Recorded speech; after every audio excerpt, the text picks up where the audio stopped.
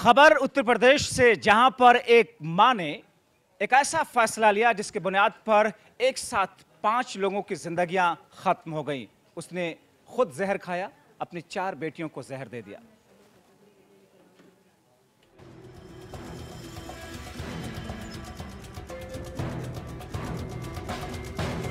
उत्तर प्रदेश के फतेहपुर ज़िले से दिल दहला देने वाली घटना सामने आई है, जहाँ एक माँ ने अपनी चार बेटियों के साथ जहर खाकर आत्महत्या कर ली। पिछले दो दिनों से घर का दरवाज़ा न खुलने के बाद पड़ोसियों ने पुलिस को सूचना दी। मौके पर पहुँची पुलिस ने दरवाज़ा तोड़कर जब घर के अंदर गई तो एक ही परिवार के पाँचों के शव बरामद हुए। कमरे की छानबीन में पुलिस को सल्फास की गोलियाँ और कटोरी में घुला हुआ जहरीला पाउडर भी मिला। माना जा रहा है कि माँ ने अपनी चारों बेटियों के साथ सल्फास की गोली और जहरीला पाउडर पीकर आत्महत्या कर ली।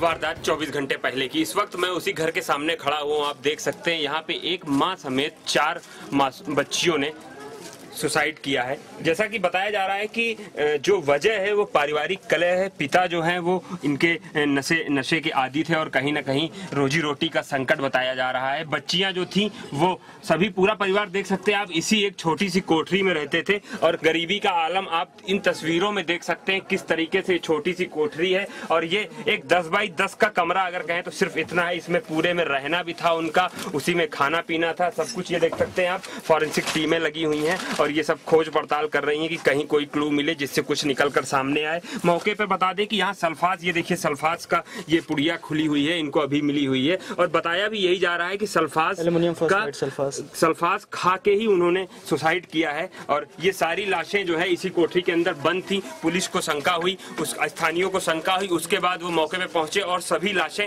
मौके से निकाल कर पोस्टमार्टम के लिए भेजी गई हैं।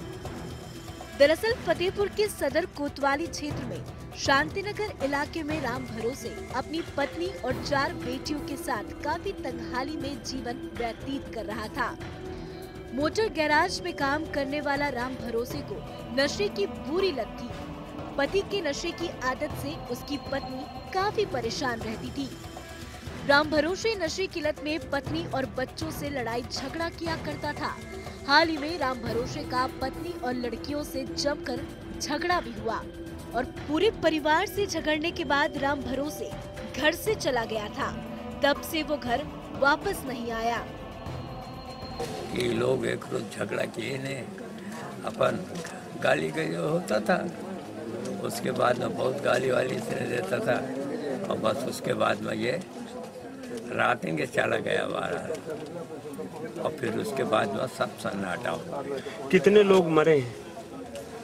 हमारे तो बेटा घर में जितने रहे कितने कितनी संख्या होगी? संख्या कितनी होगी तो चार चार भान नातनी थी एक बहू थी। मामले में पुलिस ने राम भरोसे के खिलाफ आत्महत्या के लिए प्रेरित करने का मामला दर्ज कर उसे गिरफ़्तार कर लिया है। कोतवाली थाना क्षेत्र अ, शांति नगर मोहल्ले में राम भरोसे नाम के व्यक्ति हैं। ये अपने परिवार सहित रहते थे। इनके परिवार में उनकी पत्नी और चार बच्चियाँ हैं। वन वन टू पर सूचना मिली है आज सुबह में कि वो उनके घर से बदबू आ रही है तो ये कोठरी है उनकी पक्की। P R B one one two की आई और मोहल्ले के सहयोग से उसको तोड़ के देखा गया तो पाँच लोग मृत पाए गए हैं, जिसमें उनकी पत्नी और चार बच्चियाँ हैं। सल्फाज की गोली मिली है और मोहल्ले वालों ने बताया है कि अक्सर ये शराब पी करके पत्नी से झगड़ा करते थे और पत्नी छूट होकर के बच्चों से, बच्चियों से उसने आत्महत्या कर लिया है। राम भरोसे की गिरफ्तारी तो हो गई, पर इस दर्दनाक हादसे से पूरे फतेहपुर में मातम का माहौल है। आर नाइन टीवी के लिए फतेहपुर से अवनीश सिंह चौहान की रिपोर्ट।